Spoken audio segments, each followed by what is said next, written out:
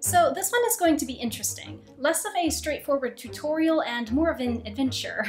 I thought this project would be simple, and it could have been, but I went into a serious perfectionism mode and ended up trying multiple patterning and construction methods. So I could have cut all that out and made a streamlined tutorial, but I decided to keep everything because there were valuable lessons that I learned from each misstep. The project was to recreate this Pinterest dress, which has been on my list for forever. I adore the way the stripes are angled. There are very clean lines and it's a simple pattern, but it has a lot of visual interest purely because of the pattern matching. I decided to go for it because I found the perfect fabric on Mood, which I will link below, though I'm sure it won't be available forever. At least you can go back and reference the weight, scale, and fiber content.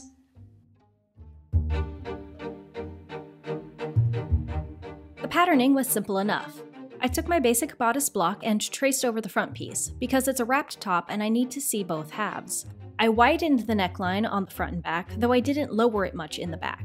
I trimmed a bit from the bottom edge to make room for the waistband. I decided how far I wanted the front to wrap, then used a ruler to draw a line between that mark and the edge of the neckline. I used a French curve to smooth out that joint. Then I measured in from the neckline and the armscye edges by about 2.5 inches, and these pieces will become my facing patterns.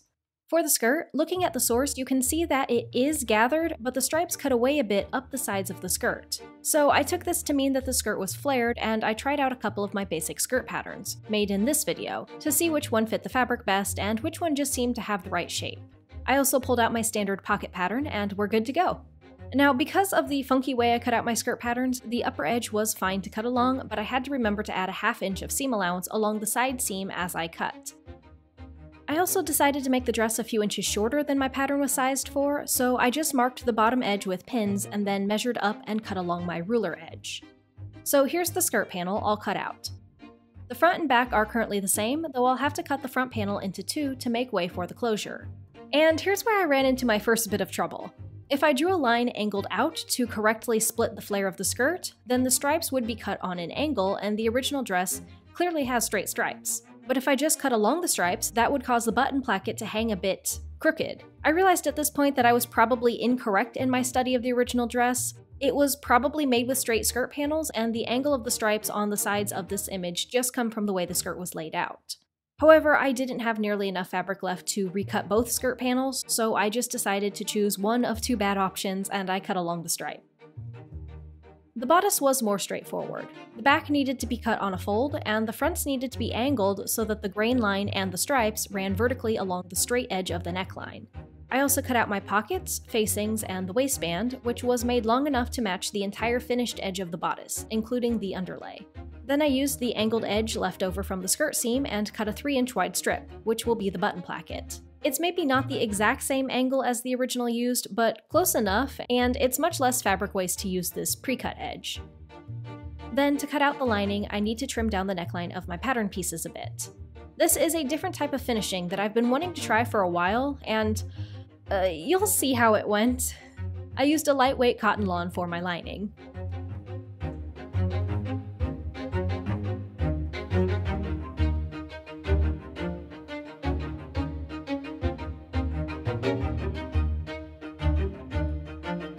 Okay, everything cut out and we're ready to start.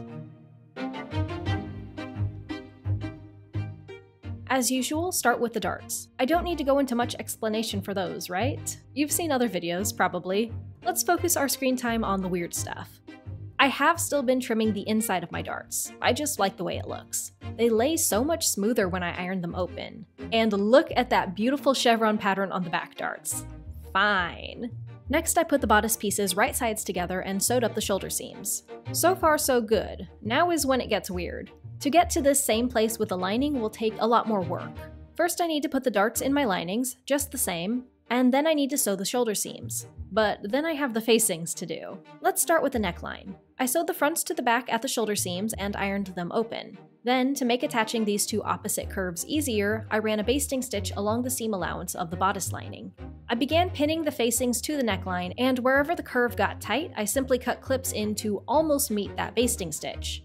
Then I decided I didn't like it. It was much too flimsy and unstructured, so I took the facing pieces apart and cut out some fusible cotton interfacing. I repeated all of those steps with the now interfaced neck pieces and then stitched around the neckline, following that basting stitch. I folded the bodice out flat and edge stitched around that seam. See that? Simple enough. Now I have to do the exact same thing with the armscye facings. When I finished, the seam allowances were overlapping at the narrow part of the shoulder, so I trimmed both down. And here's what it looked like. I've been wanting to try this finishing method for a while because it just looks so clean, but I don't think I'll ever do it again.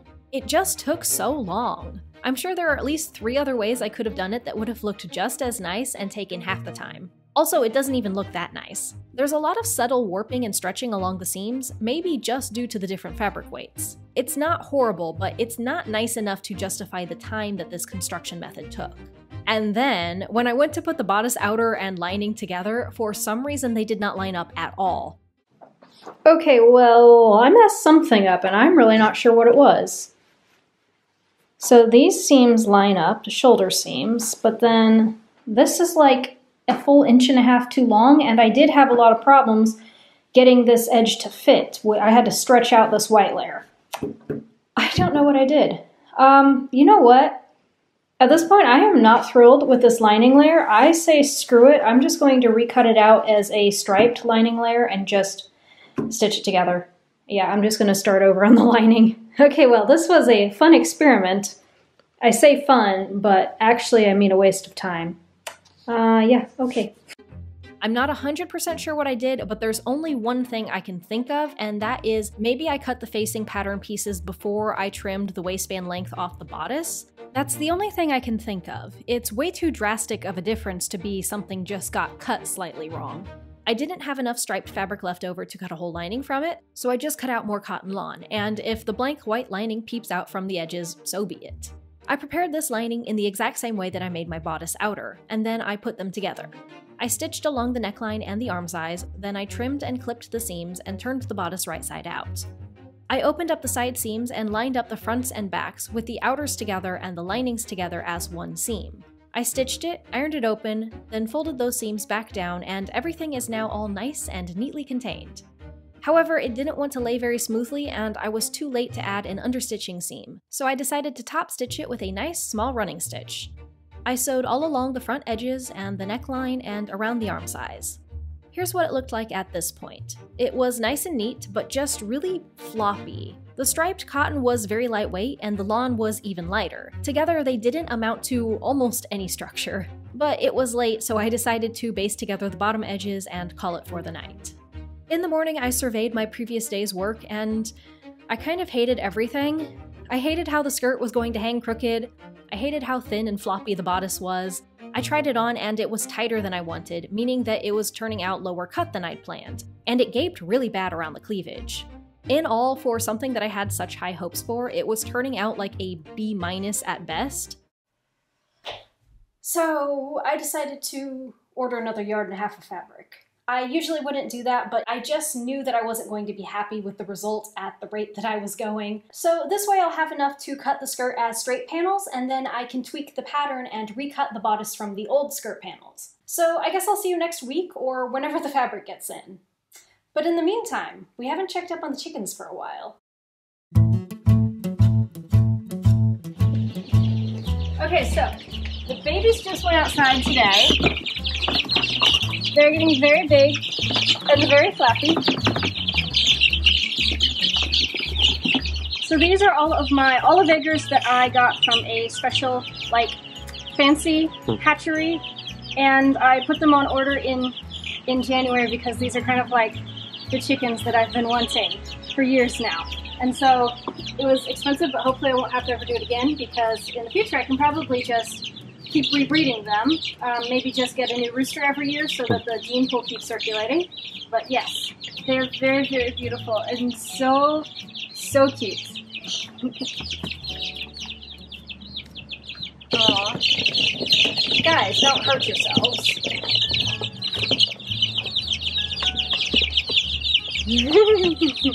and then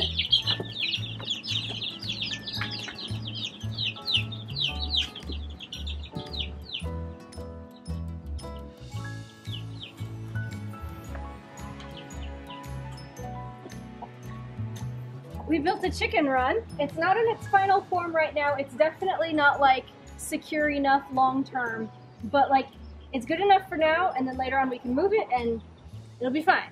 And then these were my impulse buy babies. They're getting a little bit braver.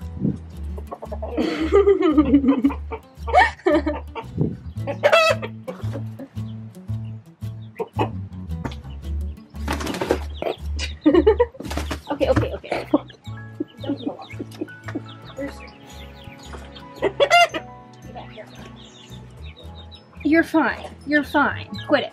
Okay, so these were my impulse buy babies because they had turkeys, so I had to buy them. but then, of course, you can only buy a minimum of four birds, so I had to buy uh, five more. so, yes, they're getting very big, especially the turkeys. They're getting big really fast. And then you see that little hole. That is for their integration, and they're doing really, really well so far.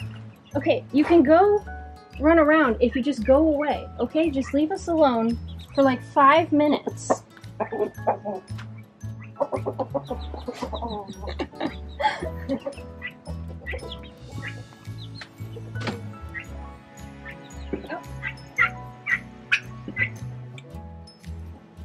And then there was a huge problem with half of my eggs were cracking every single day. So I stapled down little foam mats at the base and none of them have cracked since. Look at these beautiful, beautiful eggs. Look at this one with speckles. We've got the garden put in, mostly. I mean, I haven't planted most of it, but it's at least ready to go. Um, hopefully I can get that done next week. And yeah, that's basically everything that's going on right now. So, I guess back to the sewing project. Okay, so here's how I tweaked the bodice pattern. I added a bit to the center back seam. I think that's where I got off and how it ended up being too tight. I also tried contouring the front edge of the bodice. I tried it on and pinched in the gaping edges. I transferred that dart to the pattern and cut a wedge out of the apex. I shifted the other two darts, widening them to equally absorb that wedge. Then, of course, the neckline is now bent in, so I added more paper and straightened out that line. I've never tried contouring like this, but it should work, in theory. So when my new fabric arrived, I recut the bodice following my altered patterns. I cut a lawn lining identical to the outer, and I also cut striped facing pieces. I'm going to try a completely different construction method, with the goal of giving the bodice that structure that the first version was completely lacking. Start with the darts on both sides of the outer and lining, 12 darts in total. Then I'm going to line all of my bodice pieces up at once. I'm essentially flatlining the bodice, I'm just not basting them together first. So the back outer and lining are wrong sides together, and the front outer and lining are wrong sides together, and the bodice pieces are then placed right sides together. All four edges are lined up and pinned. Then the side seams are stitched. Now, for the shoulder seams, I was really annoyed that on my first version I couldn't quite get the stripes to line up. They were just so close, but not quite on the target. So this time I ironed down the seam allowance just so that I could use the fold line as a marker. Then I hand stitched the shoulders together, lining up each eighth of an inch stripe. I know, I know, it's a bit anal at this point, but I figured I might as well do it right since I'm bothering to do it all over anyways.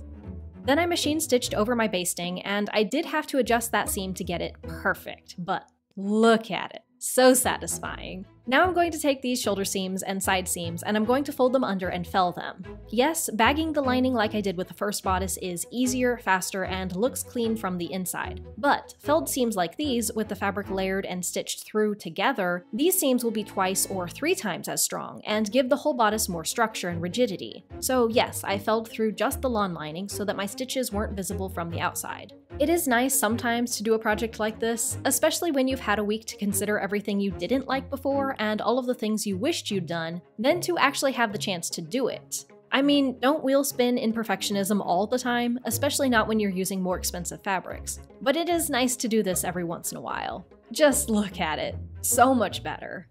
Okay, on to the facings. Again, I could have finished the neckline and armscyes in a simpler, quicker method, but the reason I decided to use this one is for the body it would build into these edges. So first I ironed on some fusible cotton interfacing.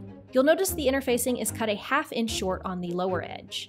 Then I stitched the shoulder seams of the neckline facing and the underarm seam of the armscye facings. I pressed all of these seams open and then clipped around the outside edges, clipping just shy of the interfacing. Then I pressed the outside edges in, using the interfacing as a guide to get a nice, smooth, crisp fold.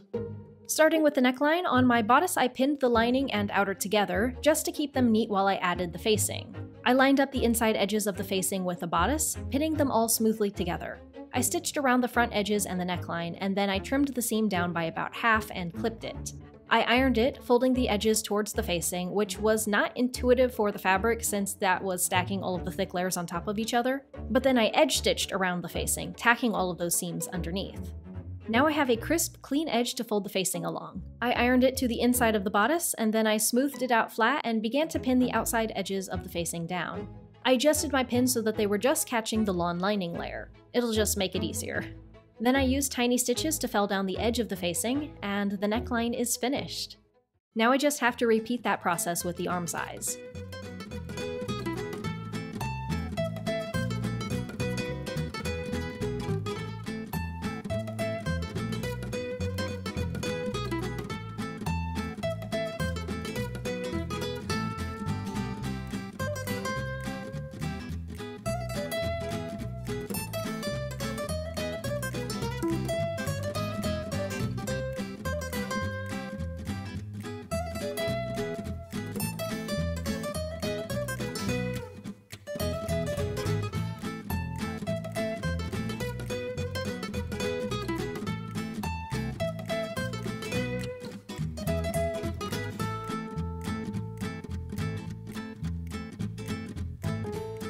When the armscyes were done, I ran a basting stitch along the bottom edge of the bodice and it is finished. Quick note, look at how much body it now has. Look at how much dimension it has, just laying down on its own. Compare that to the floppy bagged lining of the first bodice. I'm not saying that one is better than the other in all occasions, but I am saying consider how you want a project to turn out and what your fabric is like when you're deciding how to construct a garment. If I'd done that, I could have saved myself about one whole workday.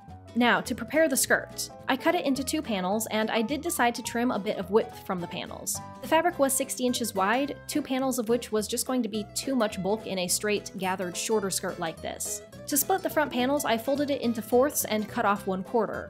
This was actually wrong. I'm not sure why I thought that was the right proportion. If you look at the dress, it's obviously closer to thirds, and I could have always just measured my pattern and used a proportion equation to figure it out exactly.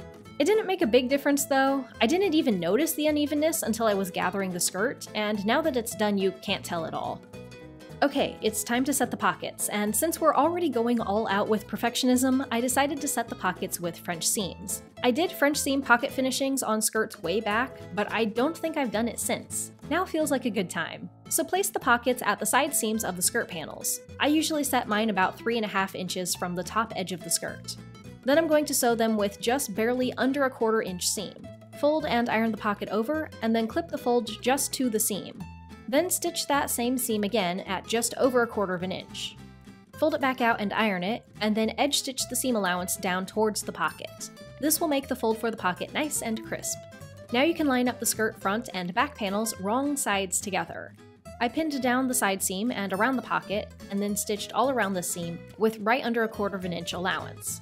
Then I realized that I was going to have an issue with the bulk of the French seam getting in the way, so I restitched just the skirt side seams at a half inch. I trimmed these seams down, especially the side seam, and then I clipped all the corners. I turned the skirt wrong side out, flattened out the seam, pinned it, and added placement for how far up the base of the pocket I needed to sew. One last thing to add is a short tape to the top corner of the pocket. I have finally figured out to cut these tapes at half an inch longer than the distance from the top edge of the pocket to the top edge of the skirt. Otherwise, when the skirt becomes three-dimensional, it's hard to guess how far down the pocket is supposed to hang. Stitch the seam at just over a quarter inch. Reinforce the pocket tape, sew around the curve, don't forget to turn and stitch up the base of the pocket, then do a 180 and stitch all the rest of the way back down the side seam. Now you can iron it smooth and then look at this beautifully set French seamed pocket. No serger, no pinking, no messiness. This particular construction does take some time, but I feel like the end result is worth it. It's just so fine. Next I'm going to add the strip that will become the button placket. I lined it up so that the stripes would be angling down the dress. Also, notice that it's too short. I cut it about 1 and 3 quarter inches shorter than the skirt because I'm planning on doing a 1 and 3 quarter inch deep hem. You'll see. Just pin it lined up with the top edge of the skirt and then sew it down at a half inch. Fold it out and iron it, and then fold the edge under by a half inch and iron it again. Leave that alone for now and shift to the hem. I ironed the edge up by a half inch, and I carried that all the way around the circumference of the skirt. Then I folded the hem up again by 1.75 inches, and you can see how that also raises the raw edge of the button placket. I kept folding up and pinning all the way around the hem. Then I folded over the button placket, meeting up with the folded edge of that seam, and pinned it. Now I decided to fell these all by hand, the whole hem and the two placket strips. This was some very satisfying hand stitching. The stripes were small and easy to follow, and I centered each stitch over a white stripe so it's completely invisible from the front. Okay, so I just finished the last strip of this, and I might take it out and redo it, because for some reason it twisted pretty bad. I'm not sure if I was holding it wrong and the tension was, I don't know what was going on, or maybe it was because I started at the bottom instead of the top. But like, it only got moved down by about a quarter of an inch, but it still made a crazy amount of difference. And I don't think I could iron it flat. I think that it would end up with folds. So since this is kind of a perfectionist project, I think I'm going to redo it. Okay, that is much, much better. So I don't know what the physics behind it was, but for some reason, starting from the top was fine, starting from the bottom got it horribly twisted. Okay, time to put it all together. But first, the waistband. I did need to add a seam in the back of the waistband. I don't know, it was just the best way to cut the fabric. Then I set a strip of cotton interfacing over the waistband and ironed that down. Then I put the waistband outer and lining right sides together and stitched the two short ends. It will just be easier this way, to sandwich the bodice and skirt edges in rather than trying to sew around them later. So yes, go ahead and sandwich the bodice in between the layers of the waistband. Then sew along that seam. Notice that I didn't sew all the way to the edge. I started right at the seam and then I ended right at the opposite seam. Then I folded those short seams back and turned the waistband down, ironing both sides smooth. I don't feel like I need to understitch or anything here. The weight of the skirt will pull on that waistband, keeping it straight. To attach the skirt, first we need a gathering stitch. Since we're going all out on this project, might as well do the second row. Why not? Then I lined up the side seams, center back, and front plackets with the waistband. And here's where I realized that the bulk of the skirt was uneven between these segments. Oh well. I gathered it up and pinned it smooth between each segment, and then I measured the distance from the side seam to the pocket tape, marked this measurement on the seam, and tacked up the other end of the tape. This does look super funky on the underlapped side of the bodice, but there's nothing really to do about it, and it's not like there's anything actually wrong with it, it's just more constructed than what we're used to seeing. I stitched the seam and then I turned the bodice over and restitched it so that I could more perfectly follow one of the stripes. I trimmed the seam down and then took it to the ironing board and folded the waistband lining down to meet the seam and cover all the bleh. I filled the waistband down by hand. Look at it, on the underlapped edge. Isn't that weird? But it works. Okay, well, I am down to buttons and buttonholes, and I got one button sewn on. Ooh, that looks really yellow on camera. It's not that bad in real life. Hmm. Well, either way, I could finish it tonight, but I've got a headache, so I'm just going to finish it tomorrow. Okay, so I slept on it and I really don't like these yellowed buttons, which is kind of frustrating because I have this whole jar of buttons, but they're pretty much all plastic and they're all old, so they're all yellow. So I'm going to wait for Joann's to open and then just go get some new buttons. Okay, fine. Yeah, that's a lot better. And yeah, I forgot to film the buttons and buttonholes, but you know what that looks like. I also added a little snap to prevent the neckline from gaping. And with that, the dress is complete.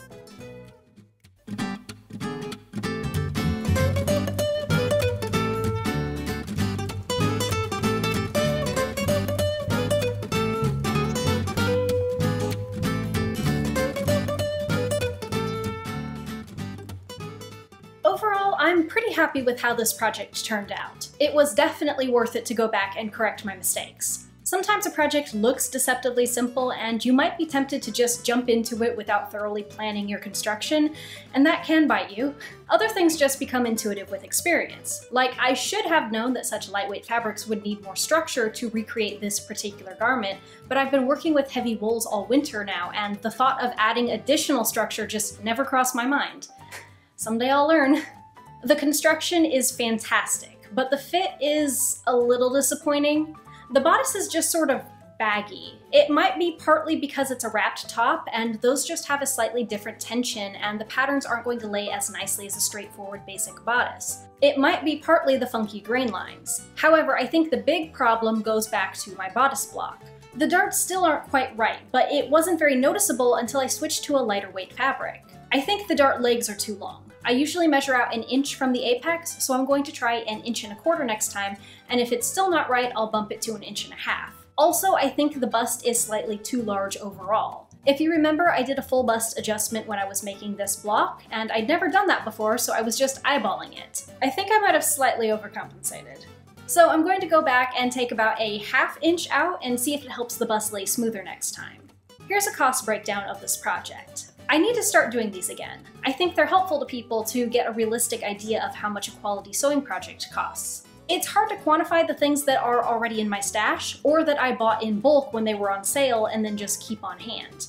I think I'll not count those as costs specific to this project, but I'll list them because you'll have to factor them in if you don't already have a decent sewing stash. And a thought about the pattern.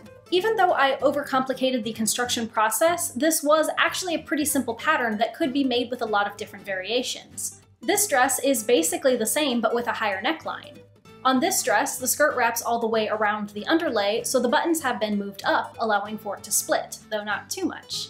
This knit dress wraps and has a bow tie instead of buttons, and fitted sleeves have been added. This dress has a looser fit, with fluttery sleeves and a flounce along the skirt front and hem and this dress has added a flounce to the neckline as well. Okay, well, this was fun. I'll be working on new videos soon, probably a capsule wardrobe design video next. Lots of exciting projects coming up, both of the practical sort and the extremely impractical. If you don't feel confident enough to make the pattern for this dress, or if you don't have a bodice block, or you don't have time to make one, the size graded PDF version will be going up on my Patreon soon. See ya!